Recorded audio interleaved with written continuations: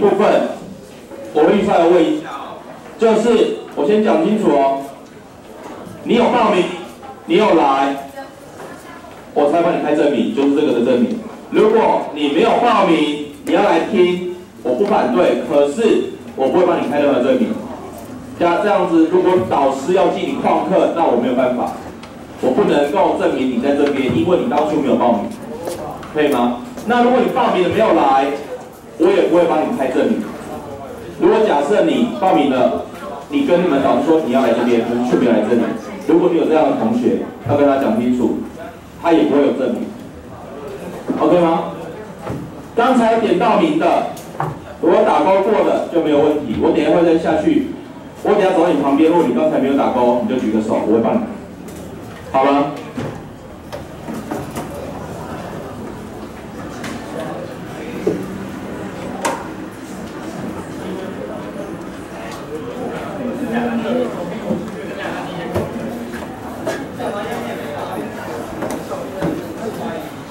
好，动作快点就做了。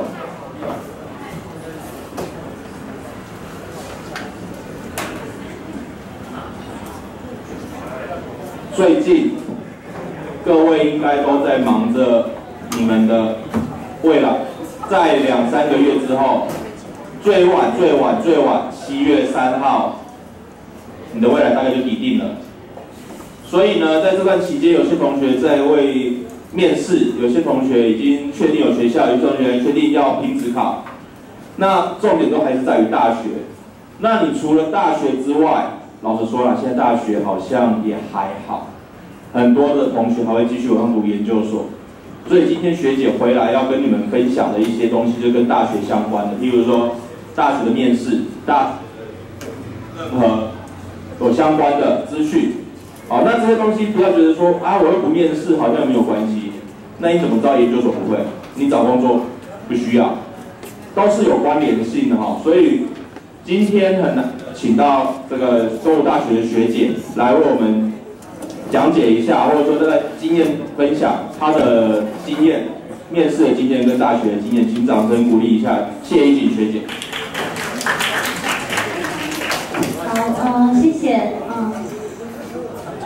我今天会因为你们的呃备审的部分，好像昨天就是第一批备审开始上传。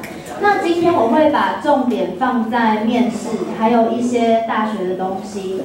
然后其实去年我也跟你们一样，就是坐在下面听上面的人讲，然后就是希望可以对你们有帮助。那呃，你们今天可能每个人来这里想要听到的东西都不一样，可能有的人想要听面试，有的人想要听大学的，有的人想要听一些技巧或是怎么避免紧张之类的东西。那在最开始的时候，我希望你们先忘记你们今天想听什么，我们先探讨一个问题。你觉得你是一个什么样的人？好，嗯，有答案其实很好，因为有的人在被问到这个问题的时候，他会完完全没有任何头绪，因为他自己也不知道他是一个什么样的人。但是这个问题，你从以前到现在，甚至是以后，你一定要知道为什么。因为如果你不能用三个词形容你自己，你不能用三句话形容你自己，甚至是用一段，呃，很完整的叙述来描述你自己。如果连你都不知道你是什么样的人，那你要怎么说服你面前的教授，或者是说服看你背审资料的人来知道你是一个什么样的人，并且决定他要不要录取你？所以你一定要知道你是一个什么样的人。我现在给你们三十秒，你们大概想一下。一个具体的描述，我不会叫你们上来讲，不用紧张，这个答案你自己知道就好。你们稍微想一下，你觉得你自己是一个什么样的人？在我后面讲的东西才有意义。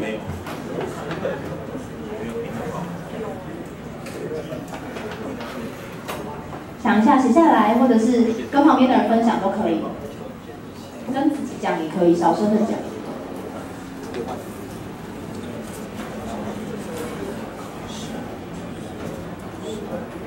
好，不管你现在有没有答案，就是你记得你现在的答案，然后你可以继续思考这个问题，然后我们继续下去。嗯，好，我未来的职业跟我的学习一定要一样吗？很多人觉得我是不是要先选一个我喜欢的学校，然后之后我再转系就好了？甚至有的人可能他的父母跟他说，我以前念的跟我现在的工作完全不一样啊，所以我是不是一定？要念跟我未来职业相关的科系。其实我觉得你们要思考一个问题，就是三十年前的教育环境跟现在有什么不一样？以前他们可以选的科系可能非常的少，像比如说以我的母亲为例，她以前只有两个选择，一个就是食品营养，一个就是金融，就这两个选项。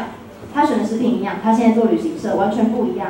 可是那是因为那时候的环境造就他们只能有那样的选择，但是现在完全不一样。嗯，这个问题没有一定的答案哦。但是如果是问我的话，我会觉得当然重要。为什么？你想想，如果现在现在现在在座的你们，可能我都看不出你想要选什么系，或者是你的方向是什么，你希望你成为什么样的人？因为你就像一张白纸。到大学新生训练的时候，你也会有这样的感觉，你完全无法分辨所有的新生来自什么科系，因为他们一点特征都没有。可是你到了大二、大三、大四，你可以分辨很清楚，这个人是文学院的，他是理学院的，他是医学院的，他是法商学院的。为什么？因为在你潜移默化当中，你跟这样一群同才相处，你上这些教授的课。在无形之中，你会受这些人的思维模式、思考习惯，甚至是一些生活上的小习惯、小动作，你都会被这些人影响。因为你就是在这个领域里面，所以久而久之，你会慢慢、慢慢的跟那群人有一样的想法、一样的习惯。那这也会影响你之后可能在你就业的选择上面，你一定会选跟这个领域相关的，因为你习惯了，而且你的专长、的能力就在这边。所以为什么我们要选？适合自己或者是我有兴趣的学习，因为如果你硬要选一个你可能完全没有想法的东西，只会有两种结果，一种就是你被它同化，一种就是你念得很辛苦很痛苦，然后你觉得你这四年就是浪费一无所获。那有的人会说我可以转系，我可以转学。你真正读了大学之后，你就会发现转系跟转学是一件多么需要意志坚定才做得到的事情。因为学大学有分学分，你要顾你自己的学分。你又要顾你要转过去的那个学习的学分，如果你不想延毕，你就又更辛苦。那转学一样很难转，所以除非你有很坚强的意志力。当然，如果你真的不幸进了一个你不喜欢的系，我当然鼓励你转，当然是要选你自己喜欢的。但是如果你可以在这个错误之前就避免这个错误，做一个对的选择，我觉得对你们而言可能对以后影响就会比较好，然后你大学也会过得比较快乐，真的有学到东西这样。我会讲太快吗？不会。那你好，好，谢谢。好，那延续刚刚的东西，在找到我的梦想之前，请先想想我的方向。在确定我要什么之前，确定我不要什么。嗯，小学的时候不是都会写什么我想成为的那种人，或者是写一些什么我的志愿之类的东西。那可能志愿有很多种啊。小时候你可能并不了解那个职业，你可能只是看到表面，你想当老师，你想当医生，你想当律师、太空人，叭叭叭那些的。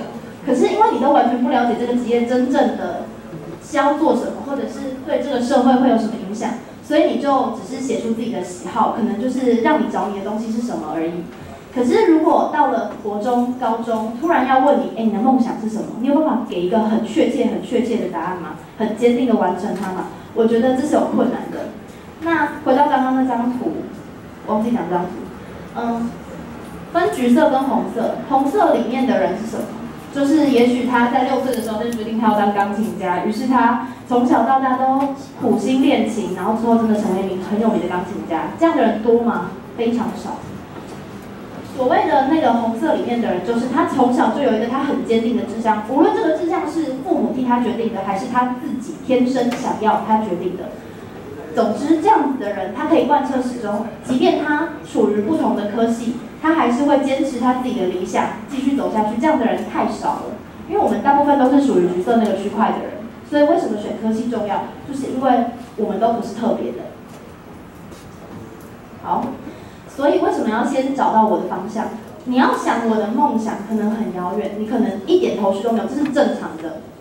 那。我这个这这两句话是我国中的时候，国二的时候，那时候老师要我们写，就是我的目标，类似那样的作文，我想到的一件事情，我就跟老师说，我觉得，嗯，要知道我要什么其实很困难，我觉得知道我不要什么比较简单。比如说今天有人问你，你晚餐想吃什么，你可能不知道你想吃什么，可是他可能跟你说了，那我吃什么什么好不好？你会说我不要，因为你知道你不要。所以我觉得选不要比选要更简单。如果你可以先把你不要的都剔除掉，留下要的，然后在要的里面找你要的方向，最后因为你的努力、你的过程、你生活经验，或是你受别人的影响，找到你的梦想。我觉得这个可能对一般人来说是比较容易完成，也是比较可以努力的方向。这样。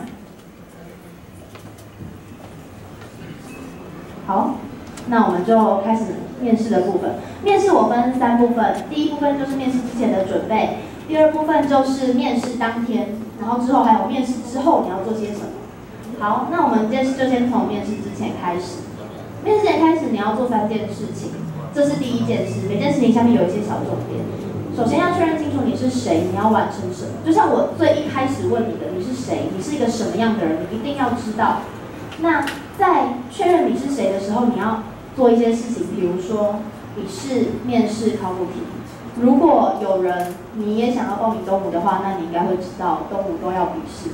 为什么？因为他要非常肯定你喜欢这个学习，他会问专业的问题，也会问你的想法。但是他就是他主要的目的就是要肯定你喜欢这个系。那为什么要做考古题？其实做考古题不见得是说我要知道我。之前考什么，所以之后我就会答的比较好。我觉得做考古题是可以训练你去思考，可以训练你可以知道他的答题模式是什么。这个学系他通常喜欢什么样人格特质的人？那你在答考古题的时候，因为你会一直被质问，一直被质问，你为什么觉得你适合这个系？你觉得你凭什么可以读我这个系？为什么我要录取你？你会一直接受这样子的质问，你会一直被打击。可是，在答题的过程，如果你可以想到问题回答，就是你可以想到你自己的答案去回答，那你的，嗯，你的心理上会一步一步坚定你要念这个系的决心。所以，为什么我其实非常鼓励大家用个人申请的方式找到你喜欢的科系？因为个人申请是一个心理战，长久性的心理战。够坚定的人，你才有办法真的进入那个学系。你可能要面试，你可能要笔试，有的学校可能不用笔试啊，就是你要面试。所以你在这之前要很多准备，你要去了解这个学习，你要去懂很多，可能跟职考不一样。职考完你可能就是哦，我看这个学系，我看分数，我填一填，分发，然后就上。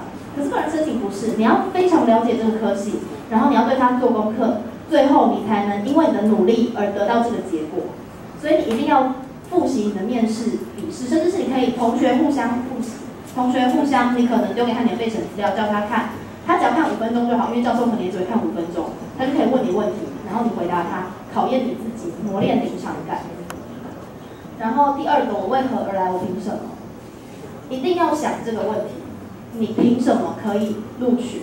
我第一阶段，我这个科系，比如说我是教授，我第一阶段过了一百二十个人，我要取六十个，凭什么你是那二分之一被我录取的人？你有什么人格特质？你要怎么说服我？你一定要去想这个问题，因为如果你是碰到比较呃刁难或者是比较困难的面试官，他可能会问你类似这样的问题。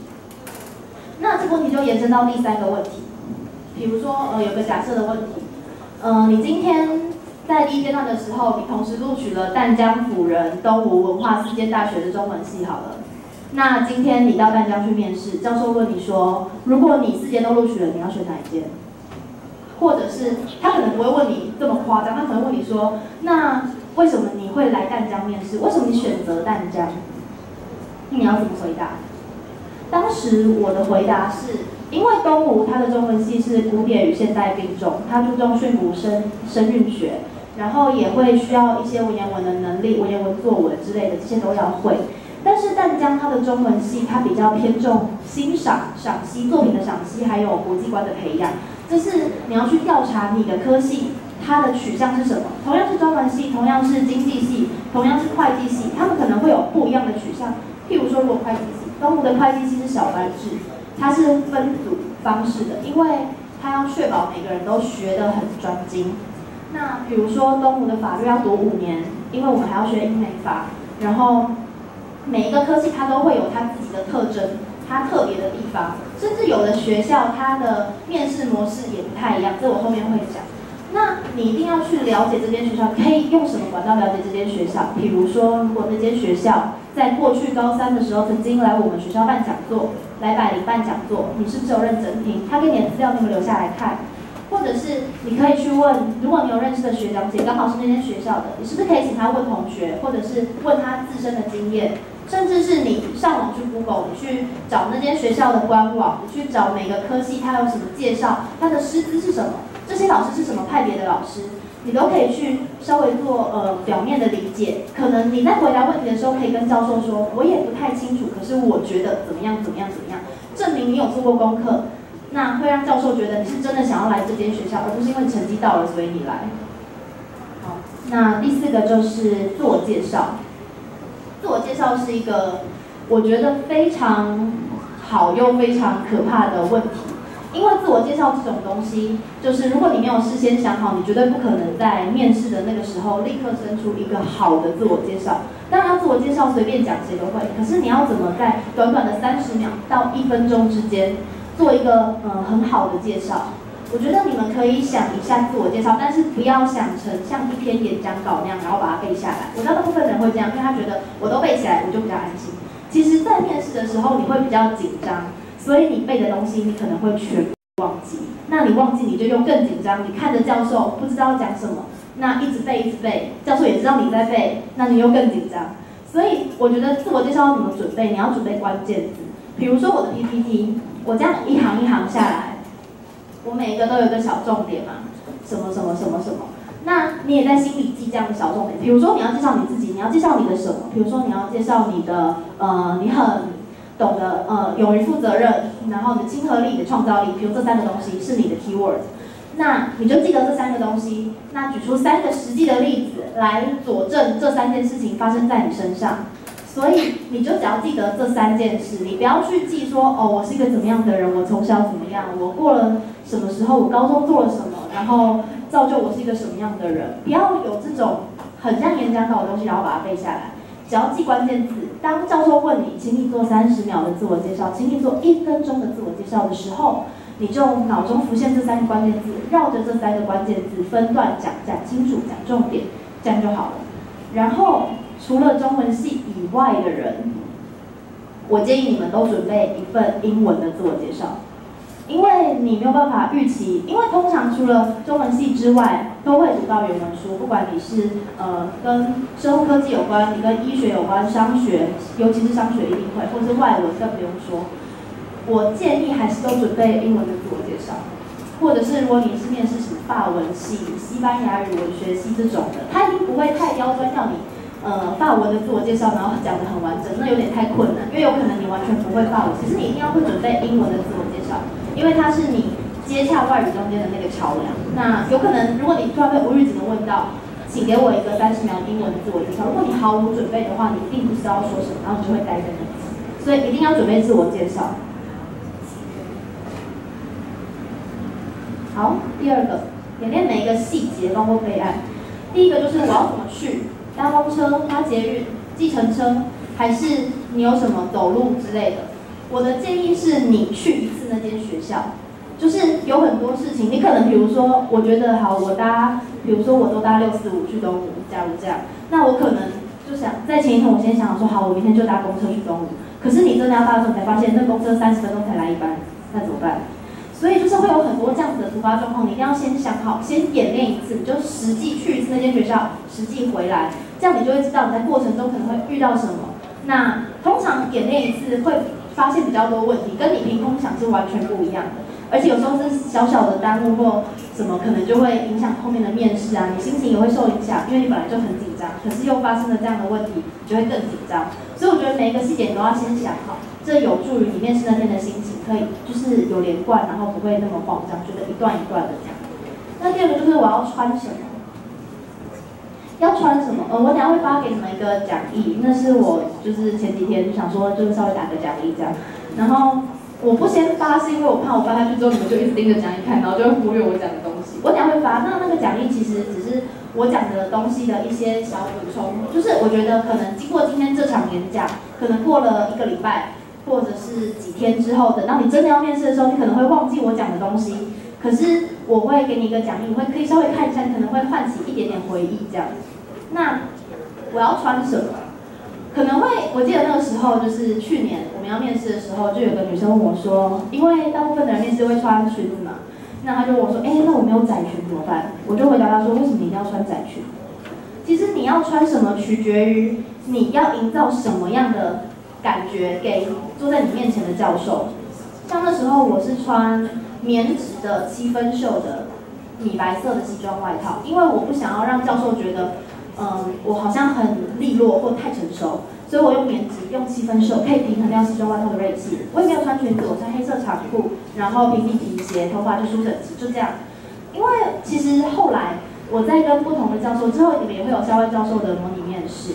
那其实教授有给我们。当时模拟面试的一个建议就是，你不要看起来很像社会人士，你的穿着是要让教授觉得你重视这个面试，但是你要散发出你仍然是一个学生这个讯息。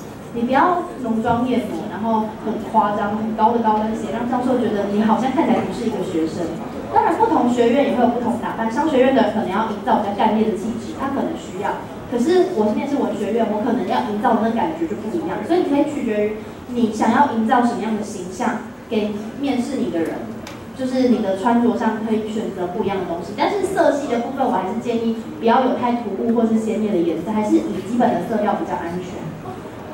然后还有就是，嗯，我要带什么？像我在面试的时候，我记得那时候我们的我在面试。因为我面试东吴跟南江，我面试南江的时候，他有要求要带作品集，呃，其实备审里面也要放。那我的习惯是，我会带去现场。像我是校刊社的，以前就是台编社，那我就带那本校刊去，因为那就是你的成果，你的作品。你要带什么去说服你眼前的教授，你值得他录取你？那你要带的一些证件，或者是我建议你们可以做一张个人简历，就是你可你的备审里面可能没有，你当场带一张简历，你的基本资料，你的经历。一些教授可以一分钟就读完，然后认识你的东西，这样他可能因为也许他不会，你可能可以带备审资料去，可是备审资料厚厚一点。如果你有一张东西给他看，他可以看着问你，而且你可以把你希望他问的问题放在那张纸里面当做线索。你可能很想要讲某一个比赛的经历，那你就把那个比赛的得奖的东西放在上面，他一定会问你，那你就又可以讲。你可以去释放消息，可以去一嗯，就像一个 hook，就是你可以去勾他问你你想要他问的问题。然后面试的模式，就是我前面说，不同学校也许会有不同的面试模式，甚至我记得好像有的学校会用抢答的啊，然后有的学校会设定让你们去玩一个游戏，然后用这个游戏来看，我觉得我要录取谁之类的，就是每个学校它的面试的模式都不一样。那我觉得你们可以，应该辅导室都会有前几届学长姐留下来的回馈单，你可以去翻一下。就是去了解你的学系，它前几届是怎么面试的那个模式，你可以稍微理解。可是知道了之后，你不要依赖这个资讯，它有可能今年会换啊。就是你一定要做好准备，觉得说，嗯，我今年我可能会碰到一样的模式的话，我要怎么应对？我知道怎么应对。可是即使它换成一个完全不一样的模式，我也知道我要怎么应对，而不是说他今天他今天换了，那你就待在那边。这样子的话。你前面做的功课就没有意义，反而害了你。所以一定要懂得随机应变，就是你要做很完善的计划。虽然计划赶不上变化，可是你只要计划的够精密，你可以随时调整，这是最好的。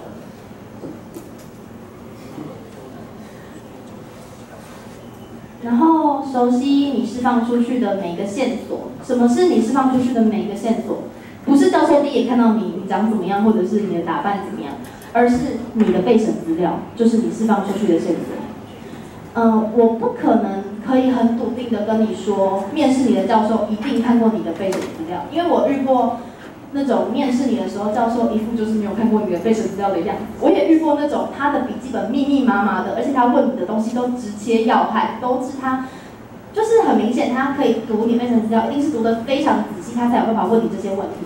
所以什么情况都有可能遇到。那你一定要记得，就是你在备审资料里面怎么形容你自己的？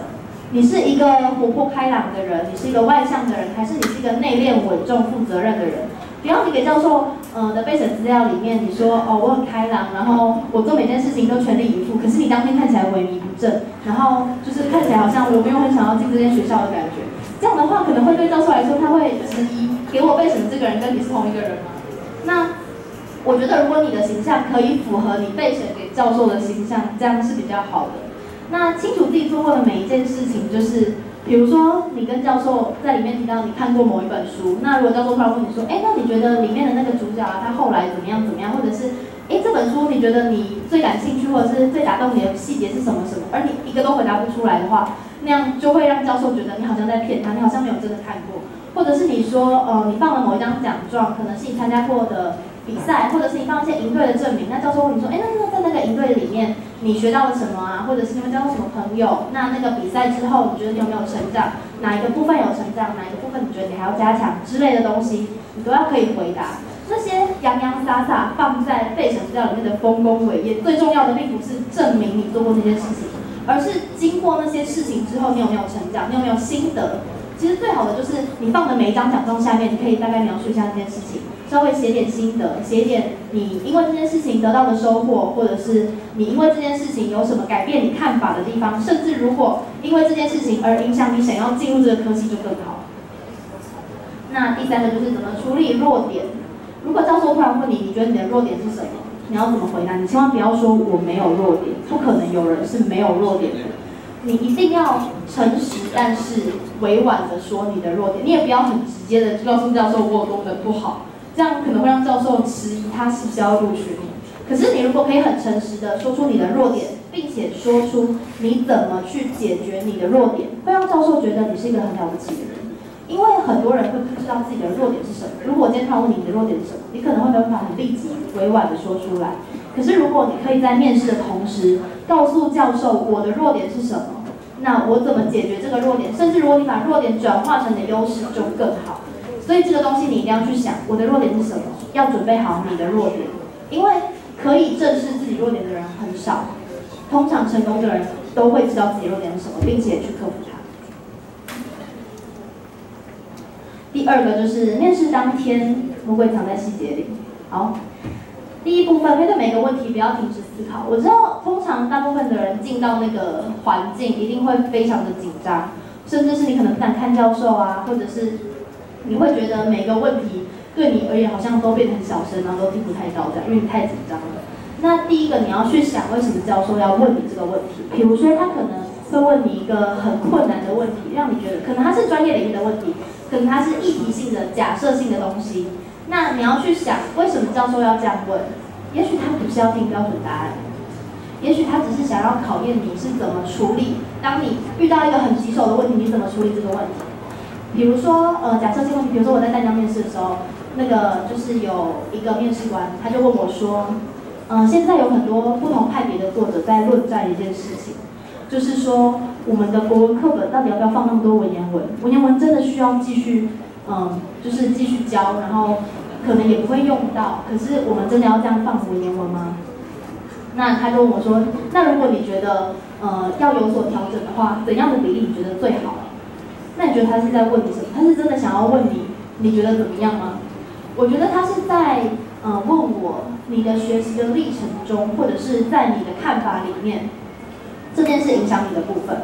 我给他的回答是，因为我自己我本身跟其他人比较不一样，是我喜欢文言文，就是可能会很多人觉得文言文很难很复杂，但是我觉得很短的文字可是可以表达很完整的意思，是一件很就是很厉害的事情，所以我就跟他说，我觉得比重可能是六十六十 percent 跟四十 percent，我觉得文言文还是需要，为什么？因为从以前到现在，以前的文字是文言文，它慢慢演变成现在的白话文，那如果你不懂文言文，会不会当你在看那些有古文底子的白话文作家的时候，你不懂他的隐喻，你不懂他要表达的意思，这是有可能的。所以会文言文其实就像是一种基本工具，你可能不一定会使用到它，可是你一定可以理解到它。我有点离题。其实我的重点就是，呃，教授为什么会问这个问题？他可能是想要看你怎么处理这个问题。你回答这个问题的时候，他会想要看你是怎么思考的。他知道这个问题对你来说一定很棘手，或者是一定没有办法有标准的答案。可是他想要听的是你的答案，不是标准答案。好，那小问题请给一秒，大概问就给三秒。不是叫你一秒回答完吗？不可能，三秒回答完也太难。重点就是停顿的时间。什么是小问题？不需要思考的问题都是小问题。比如说你读什么高中？你叫什么名字？像这种东西，你就在教授问你，比如说，哦，同学你叫什么名字？虽然他知道你的名字，你就停一秒之后，然后再回答他，我叫呃教授你好，我叫某某某。为什么要停一秒？因为你可能无法分辨，也许你觉得教授话讲完了，可是在你回答的同时，他又讲了下一句话，这样就会造成你很像在跟教授抢话讲，会有一种好像不尊重他的感觉。那停一秒，它就是一个安全的时间距离，在他讲完之后，你停一秒，然后再委婉的说你的答案，会让教授有一种一问一答，然后你很尊重他的感觉。那什么是大灾问？大灾问就是像我前面提到的一些问题，比如说。嗯，你的你有梦想吗？或者是你为什么觉得你适合这个科系？或者是你有没有特别喜欢某一个作家？你有没有特别嗯人生中发生过哪件让你深刻难忘的事情？类似这样子，你必须要做很完整叙述的问题。即便你已经在面试之前，你就已经就是在考古题里面做过这个问题，你可能也回答过上千万次，你心中已经有一个很标准、很标准的答案了。但是你千万不要在。教授问完的当下就立刻把你的答案全部说出来，因为这就说明了一件事情：你在背答案，你完全没有在思考。教授可以很明显的感觉到你一定回答过这个问题，然后你在背答案。如果你可以停三秒，假装你在思考，假装你在思考的这个同时，你可以再整理一下。你脑中的问题，把它变成更有逻辑性、更有条理性的叙述。我觉得这样会让教授觉得，嗯，你有在思考我的问题，而且你是可以当场思考、当场回答的那种人。你的脑袋是有在运作的，而不是我问什么，然后你就只是呆呆的一直回答我你已经知道的东西。你是可以跟我思辨、跟我讨论。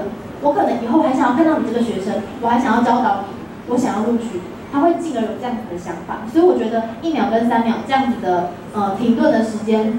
可能对于你在面试的时候，不但你可以给自己一个缓冲的时间，相对的，你也会让教授觉得你很尊重他的问题，而且你有在思考他在问的每一个问题。然后第三个就是自然的说话，不要演讲。比如说，嗯，你说我喜欢写作，这就是说话嘛。那什么是演讲？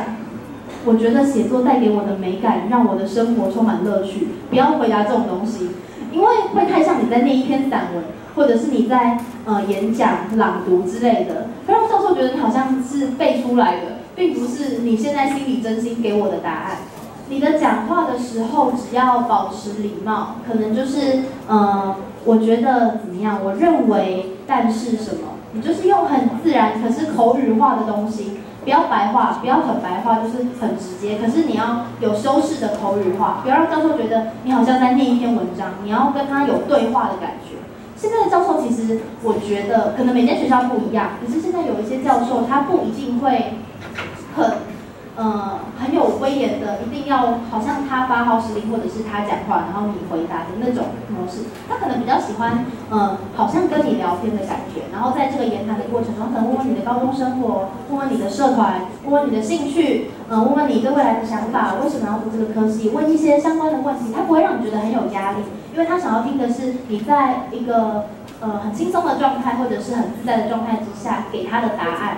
所以你不要就是很正襟危坐，然后过度礼貌，让教授觉得你好像一直都很紧张。其实你可以自然一点，就是像在跟长辈尊重的这样说话就好了。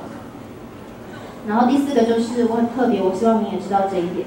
嗯，我不知道你们有没有写过类似这样的文章，比如说呃最温暖的一件事，或者是呃最好的时光，或者是就是过去对我而言最美好的一段时光。我相信百分之九十九点九的人都会写童年吧。可能跟外公外婆啊，然后之后外公外婆就过世了，然后你很难过之类的这种模式。那什么叫做？就是我第一点想要表达的意思，就是当你也遇到类似这种问题的时候，当教授问你一个很普通，就是大家都已经回答到烂了的问题的时候，你完全可以预设，如果别人也听到这个问题，他会怎么回答的时候，你尽量避免一样的回答，要让你的回答有亮点，让教授觉得你跟其他人不一样。当然，你不要因为要特别，所以你就回答一个很奇怪的答案。可是我是觉得你可以，如果你的人生经验里面有资料是可以使用的、允许的，你可以把它拿出来用。可能是特别的，或者是跟其他人不一样的经历，你可能做过什么别人没有做过的事情，让你的呃看法，或者是你对呃这件事情的想法有什么跟别人不一样、比较特别的地方。那如果如果你可以就是提出比较特别的东西，也许教授会觉得，哎，你的想法好像跟其他人不一样，甚至是他已经可能你是比如说第二十个面试的、第六十个面试的、第八十个面试的，他已经被面试的人疲劳轰炸一整天。这时候他听到一个他觉得特别的、还不错的答案，他会对你留下比较好的印象。就是有点像备审，为什么？就是我后面会讲那个备审也是放一些特别的东西，因为教授已经看过太多东西了。比如说备审，他可能一份他只能看五分钟、三分钟，他一直在看一样的东西，一样的得奖经验，一样觉得什么我收获很多，然后我学到很多，可是都没有很具体的东西。当他突然看到某一篇，他觉得哎这个很特别，或者是让他有点解除他的阅读疲劳，那会让他有比较深刻的印象。好，第二部分就是面试当天你会很紧张，可是这些东西你都要记得。第一个就是给予眼神接触，为什么要给予眼神接触？因为你要让教授知道我看着你，并且在回答你的问题。如果你我你回答的内容很好，可是你就是看着下面一直讲一直讲一直讲，可能教授也会听不太清楚你讲什么，他也会不确定你是不是在回答他的问题，或者是他根本就不知道你在就是你在做什么。所以我觉得如果你可以试试给予眼神接触，我知道这一开始可能会有一点点困难。但是你一定要，无论以后你上台讲话，或者是以后你到了大学之后，你就有更多机会上台报告。通常一个学期就会有很多的报告，然后你可能要分享，甚至是你以后面试求职，或者是你参加演讲比赛、朗读比赛，你一定要跟台下的人，如果可以的话，评审或者是台下的同学，跟他们有一点眼神的接触，对着他们说话，可能对他们而言，不管是面试你的人，或者是那些评审，他都会。觉得你是尊重他、重视他，并且跟他有交流的，所以虽然你很紧张，可是你就看着他的眼睛，其实真的没有那么困难。久了就是像我就蛮上瘾的，我就蛮喜欢看教授的眼睛这样。好，然后辨别简答题跟申论题，比如说，呃，假设我一直举中文系，因为其他系我有些不太清楚这样。比如说他问他，他问你你最喜欢作家是谁？然后，如果比如说你回答好，你说我最喜欢作家是张晓峰，结束。这不是教授要听的回答，你要说我最喜欢的作家是张晓峰，因为他的风格怎么样怎么样，影响我怎么样怎么样，或者是他的某一某一个作品，或者是他的某一个观点，某一个写作的方式，呃，造就了我被影响而喜欢，或者是因为这个作家，我的人生有什么不一样。提出一两篇他的作品，或者是一两个他一两句他说过的话，多做一点描述。因为这个问题很明显，它是一题申论题，不是简答题。或者是比如说，教授问你，嗯，最近读过的一本书，你不要说，嗯，我最近读过，比如说我最近读过苏珊桑格塔的《疾病的隐喻》，然后你就讲完了，你后面都没有讲。你要讲我读的这本书他在讲什么，嗯，他想要描描述什么，跟读者分享的讯息是什么。就是你要完整的答完。通常教授的问题都是申论题，他希望你可以多讲一些话。而且这还有一个，你们可以就是学起来，就是如果你拿到一个问题，刚好就是教授问你这个问题，你是有办法回答的，而且你有很多东西想要讲，你就有条理慢慢的讲，然后把你要讲的讲完。讲久一点其实没有关系，因为如果你在你可以掌握的问题里面就表表现的很好。也许教授就可能时间到了，或者是可能他想要问的也问的差不多，他对你可以留下比较好的印象，所以你要把握你觉得可以回答的问题，不要只是你可以 handle 这个问题，可是你就短短的讲完，这样就有点浪费这个问题。好，然后保持礼貌不刻意，就是我刚刚说的，你不要很正襟危坐，然后很害怕，感觉好像教授就会对你做什么那样很害怕这样。其实教授。他可能有的教授真的就是看起来比较严肃，可是有的教授其实现在教授还蛮多都是比较，我觉得啦，就是已经比较亲切，然后是希望听你的想法，而不是表现他的威严。当然你就是保持基本的尊重、基本的礼貌，然后不要表现出很害怕他的样子这样子。然后隐恶扬善就是你遇到你的优点，或者是嗯你的长处，你可以多发挥一点，你甚至可以美化你的优点跟长处。但然后碰到你的缺点，你可以，如果你可以跳过的话，你就轻轻描淡写的带过。那如果你要讲的话，你就稍微讲一下，然后讲你怎么解决。但是绝对不要夸大，就是你不要讲的很夸张，让教授觉得这这个就是很明显听起来就是你在吹牛的感觉。不要就是不诚实，一定要诚实。你可以美化，就是就像你参加，比如说你一张照片参加摄影比赛，你可能可以调它的呃锐利化。可是你绝对不能无中生有加东西，类似这样子的想法。好，第三个，面试只有几分钟，但你要努力几小时。我的建议是，在你踏进那个学校的第一步，你就想象有一双无形的眼睛一直盯着你看，一直到你走出那间学校为止。因为你不知道测试会藏在哪里，虽然这样讲有点阴谋论，可是我觉得我的习惯是这样。而且这有一个好处就是，如果你一进那间学校，从你在等待的时候，一直到你真正在面试的时候，你都保持着一种有一点紧张又不是很紧张的节奏。那当你进入面试的会场，你就会不会突然从外面很松懈，然后你一进去就突然很紧张，这样反而会阻断你整个情绪的灵光，会让你更紧张。然后你的言谈或者是你的表现就会有点失常，所以我觉得如果你可以就是从一踏进学校就保持一点紧张感，那一直到进入面试的时候，你可能只是更紧张一点点，可是不会有一种落差很大的感觉，那可能会让你的面试就是整个有连贯性，然后一气呵成，而且你整个表现都是很好的，不管他在哪一个时候测验你，你都是最佳的状态，然后投入每一件事情。就是比如说你在可能走路的时候，看教授的时候，进门的时候，你不要表现出很害怕或很消极的样子，你要让教授觉得你是一个有礼貌而且有自信，你是要来推销你自己，而不是一直很谦虚很卑微的感觉。所以你一定要保持热情，每一个每个地方你可能只是坐下来看着教授，你只是讲话的时候，你都要有很笃定很自信的感觉，让教授觉得他可以被你说服，他想要录取这样。然后尊重他人，保护自己，就是嗯，我觉得啊，就是比如说，如果今天坐在你旁边的人问你说，哎，可以借我看一下你的备审资料吗？你要借他看吗？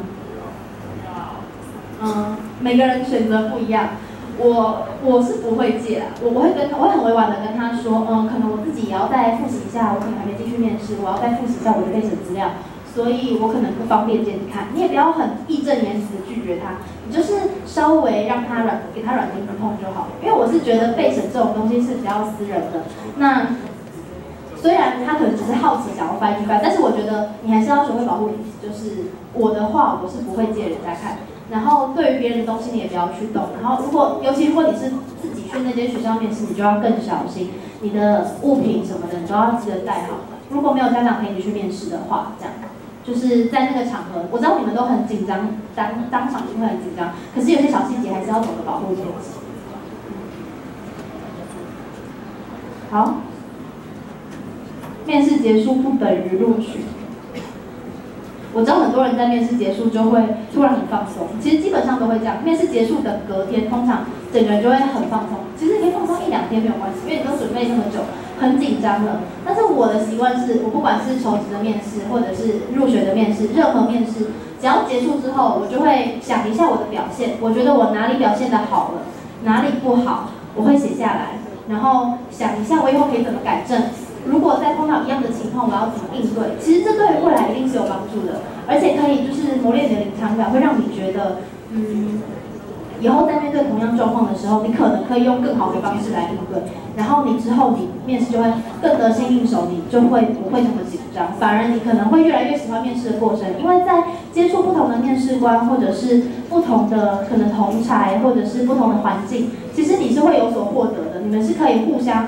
教授从你身上会得到收获，你从教授身上也会得到收获，所以你可以给自己一点回馈，然后以后再回来看，你可能会有不同的想法。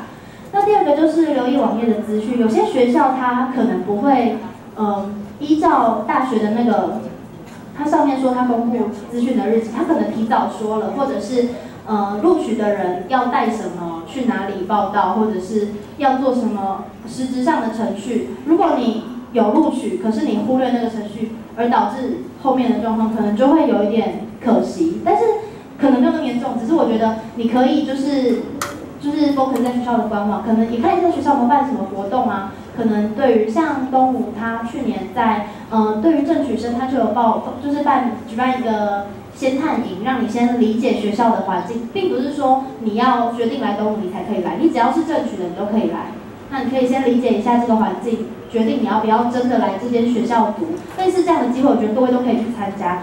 就是如果你在呃你申请的学校有这样的资讯，你都可以去留意这样。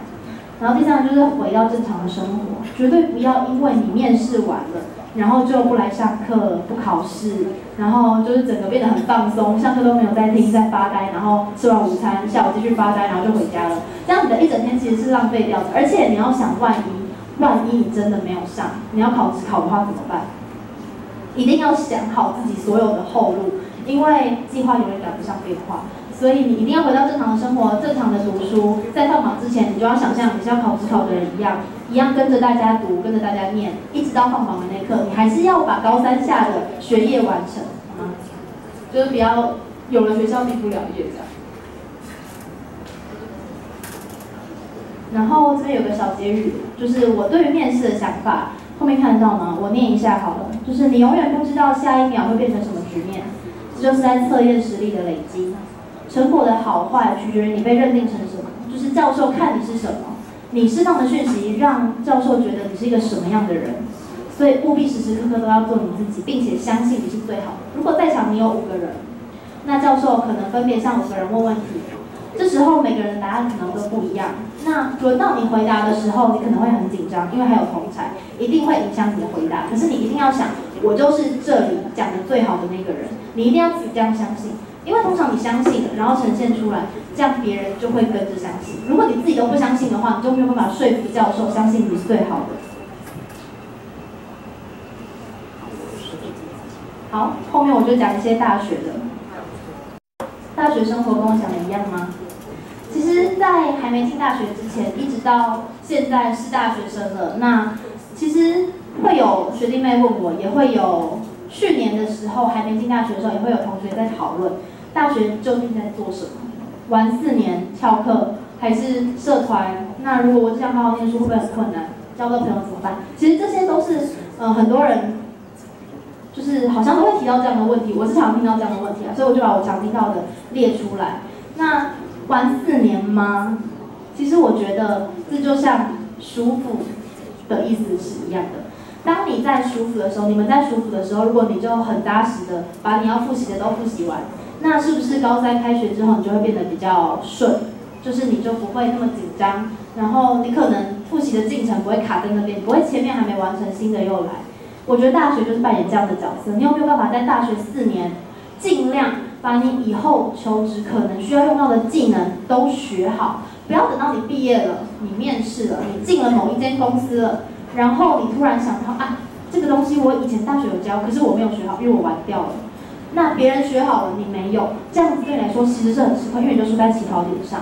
所以你你不要到这四年，这四年对你来说是最轻松，可能跟之后求职的生活比起来，可能会是你最有闲可以去学习或者是参加不一样的活动的时候。所以这四年的学习，无论是课业上的，或者是呃人际上面的，甚至是一些活动，我觉得只要对你是有益的，你都可以去参加，或者是去学习。就是对，然后有的人会觉得，大学我就不要修这么多课，我想要放松一点。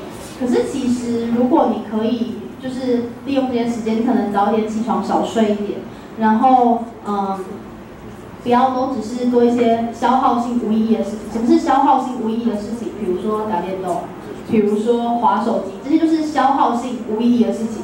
因为你划了两个小时，你可能。好，你可能看了一两篇小知识文章好了，可是这两个小时其实是有一点点浪费掉的。像这种重复性、消耗性、无意义的事情，就尽量避免。嗯，我的大学的现在我们大学的中文系主任，他跟我们他在 FB 贴过一一则讯息，他就是说每天晚上的七点到十点，你做的事情决定你之后会成为一个什么样的人。你每天七点到十点在做什么？想一下，你每天七点到十点在做什么？晚上的七点到十点，你七点到十点在做的事情，会取决于慢慢的去决定你后面会成为一个什么样的人。所以你可以从现在开始改变，不管你现在觉得你是一个什么样的人，你可以想你希望达到的那个方向或那个目标，然后从现在开始慢慢改变。改变习惯是最困难的，而且你可能从小到大七点到十点做的事情都差不多。可是你如果从现在开始改变的话，可能会影响你之后的生活。所以那四年其实是你要找到你学习的方式。没错，大学学所学不一定一定会带到职场有所应用。可是你可不可以培养处理问题的能力？可不可以培养你，当你接受到一个新的资讯，你怎么处理这个资讯的能力？那那十年就是让你培养你学习的能力，呃，多过于你真正学到什么东西。然后是不是都随便翘课？其实翘不翘课是你自己的决定。你翘课之后，你要做什么事情？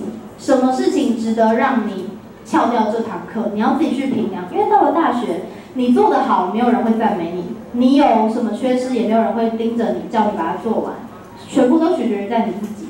你只要可以过，其实没有人会，没有老师或什么会特别去约谈你，除非真的遇到就是那种很用心、很用心的教授，否则其实是没有什么老师会管你的学习。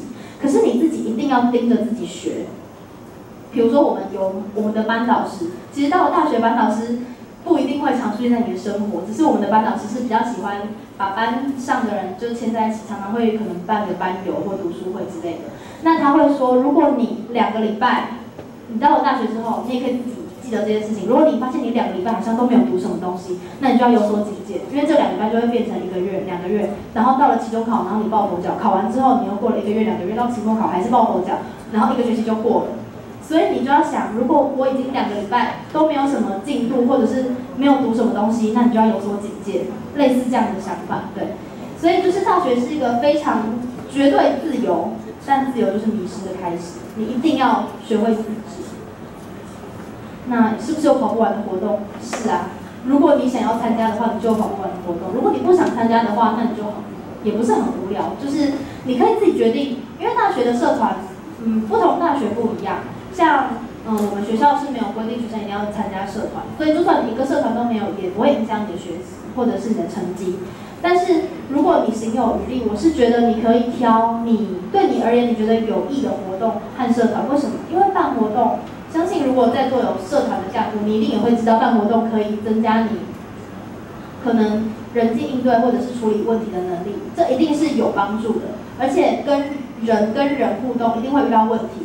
解决人跟人之间的问题，就是我觉得最难学习，而且最需要学习的部分，在大学里面。那对，那像社团，社团也是你自己的选择，你可以参加很多个，你也可以只参加一个。像我是因为我喜欢编辑嘛，我以前是采编社的，那我现在就一样，我在中文系刊，然后我自己的兴趣我还要加入摄影社，所以我就是两个社团。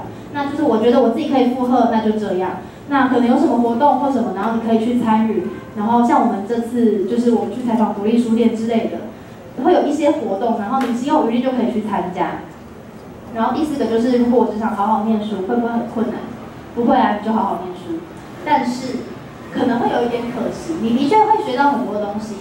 呃，不同老师的课可能会让你学到真的很多很不一样的东西。可是你的生活那四年就在学习之中虚耗掉了。你可能有学到东西。可是你可能会回想起来，觉得好像有一点空虚。那如果你心有余力，我是觉得你可以参加一点活动。当然有一个学长姐，她有跟我分享一个想法，她说大学四年你只能在玩和读书之间选一个，你不可能可以兼顾。如果你想要好好的参加活动，累积人生经验，你就必须放掉部分的学业。如果你想要好好读书，你就不可能彻彻底底的觉得你好像很青春，然后就是做过那些活动。但每个人的看法不一样啊，我觉得是可以平衡的。但是有的人他可能觉得，我可能要专注于做某一件事情，我得到的收获才会比较多。所以就是你要自己去决定自己的生活模式。大学就是每个人都活得很像自己的样子，那你会跟跟你样子相似的人变成好朋友，那跟你可能。嗯，不合的人，或者是你你们可能只是不同风格的人，你们可能到了毕业都讲不上几句话，就是这样。所以就是你可以决定自己的生活方式。那如果交不到朋友怎么办？我也不知道。可是你可以不一定要很执着于我朋友是不是很多，因为其实到了大学，我的做法是，我跟每个人都是保持就是友好。那我可能就一两个很好的朋友，但是我觉得这样就够了，因为你其实不一定要花很多心力去经营非常复杂的人际关系，你不一定要变成同学茶余饭后闲聊的对象，就是你可以选择你自己想要过的生活。那你想要很多朋友，就去交朋友，去跑活动；你想要过自己悠闲的生活，那就自己决定这样。对，好。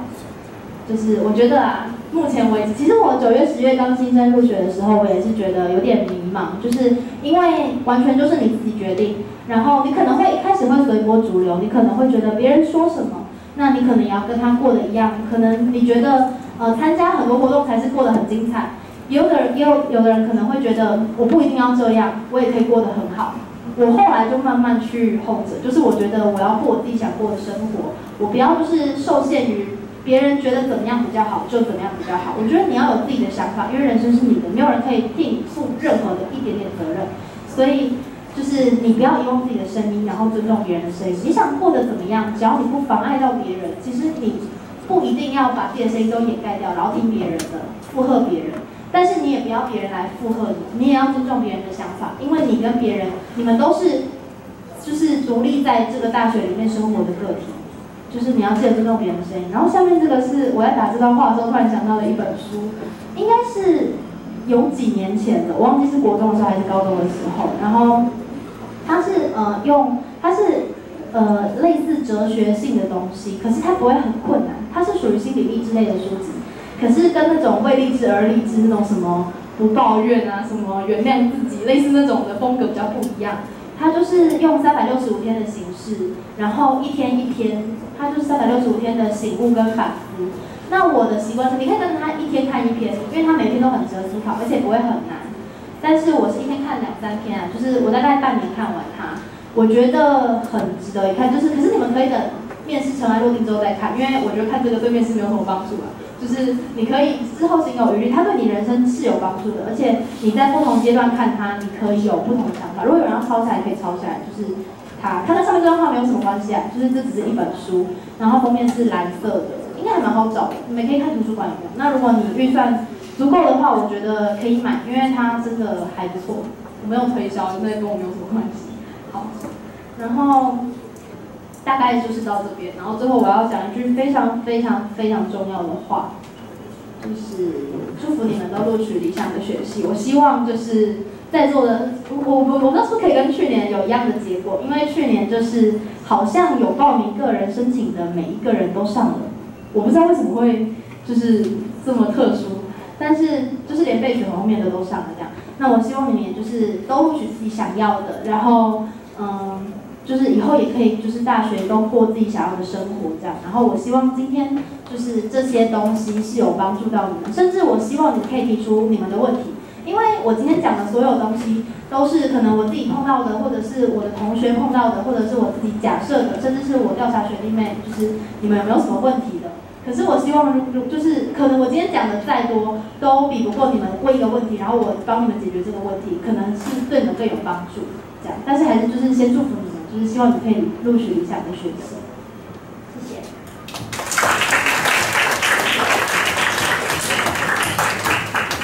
好，非常谢谢学姐的这个分享我先问一下，有没有问题想要询问的？因为学姐跟就是去年才毕业的，就是你们现在这个阶段，去年就是曾经经历过。基本上我也可以分享，因为我跟你们没差几岁。这个是不同意，是不是？是也没有差几岁啊，那反正就是你提出来，我们或许有类似的经验可以跟你们。我也曾经年轻，好吗？好，反正最接近就是学姐嘛。那尤其她又是百年毕业的，我不是哈啊，所以在这边会遇到的问题，学姐应该都可能，她没遇过，她很有可能遇过，有没有？或者是如果你们也有想念中文系啊，对文学院有兴趣，或者是你对动物大学有兴趣，你也可以问。讲一下，讲一下。然后我先把讲义发下去。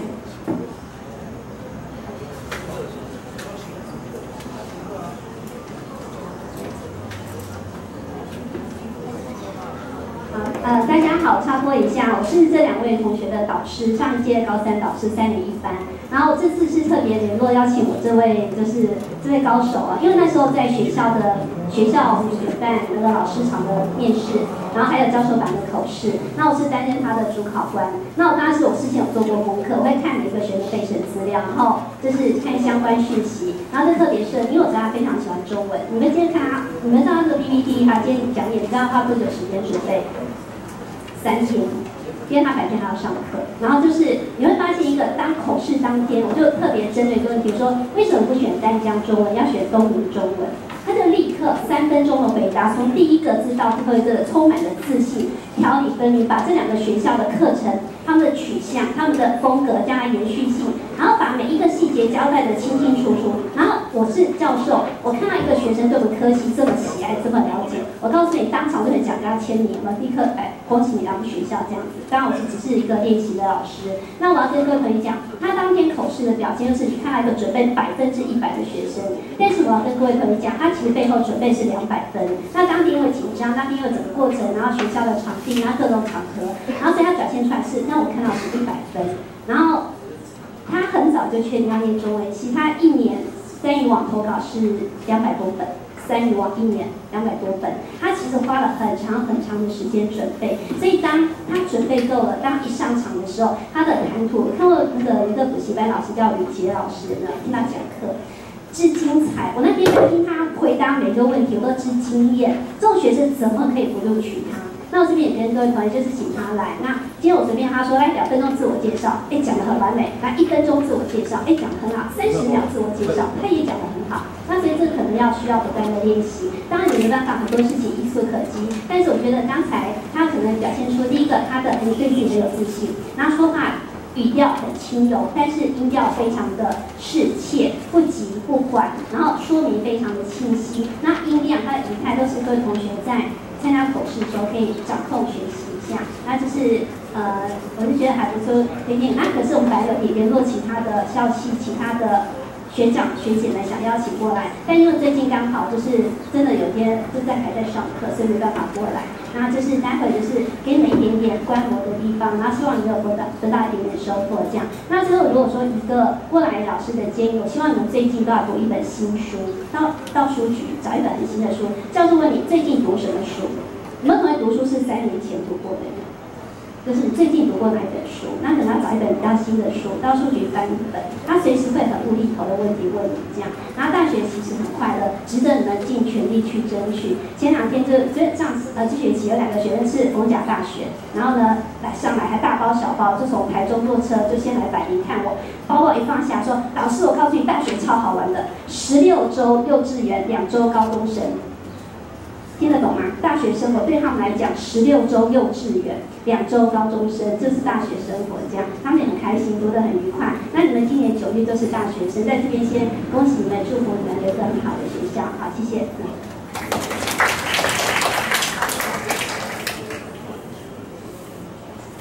好，我没有问题要问的？不管是个人的方面，或者是学校的方面。可以回答的才有办法回答哈，你要问太奇怪的问题我也没办法。有没有？没有的话，来先请主任他来状给我们的，谢谢谢，请掌声鼓励呃，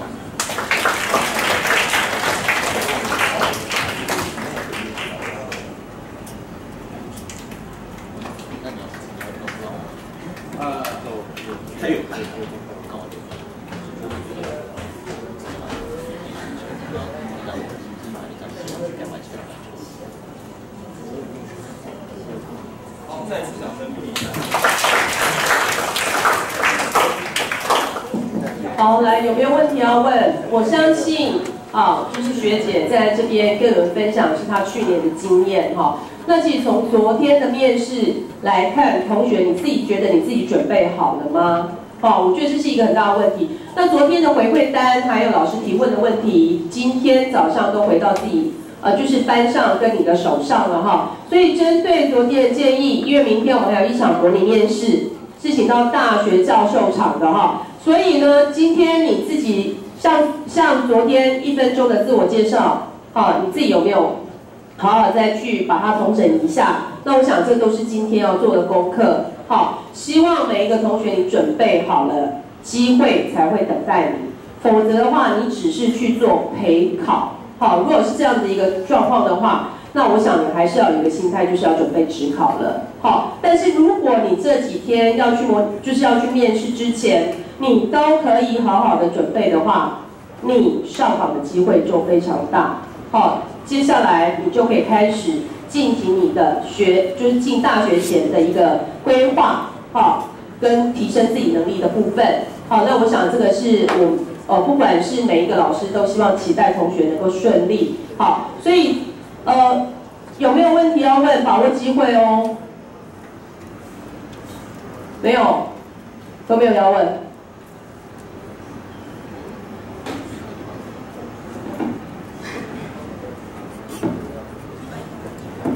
好，那个如果 OK 的话，旁边同学先帮忙窗户关一下好吗？这边关一下那边，谢谢。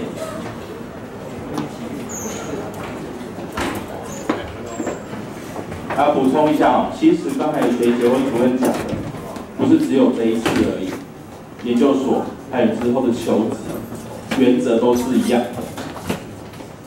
因为这几次这几天还有之前看到同学的表现，你觉得你是老板，你是教授，可能你不会想录取他，因为你们回答的非常。请问你对那个呃这本书的了解是什么？嗯，蛮好看的，很有很好笑，有很多人都是这样回答的。好，不管在面试还是在求职的、研究所的或者大学都一样哦。表达能力好，就补充这边。没有问题的话，先从三零一。一分分回去哈，然后因为现在是上课时间哈，所以请保持安静，好，然后从后面跟老师打声招呼，啊，安静就就坐这样子哈，不要到处乱跑哦哈。好，三零二。你先要请坐楼哈。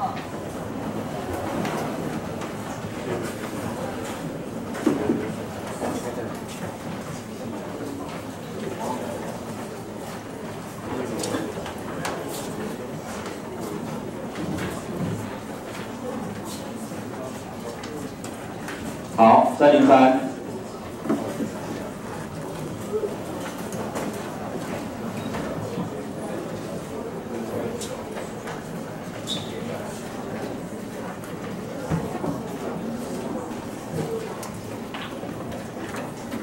三零四。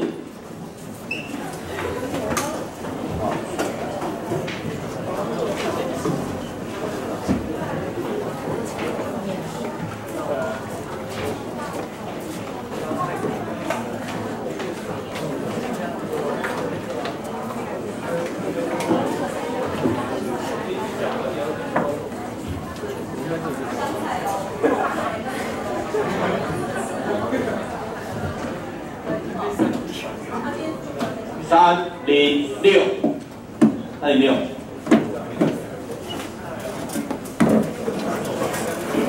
你要私底下问学姐再过来啊，三零六，可以先回去了。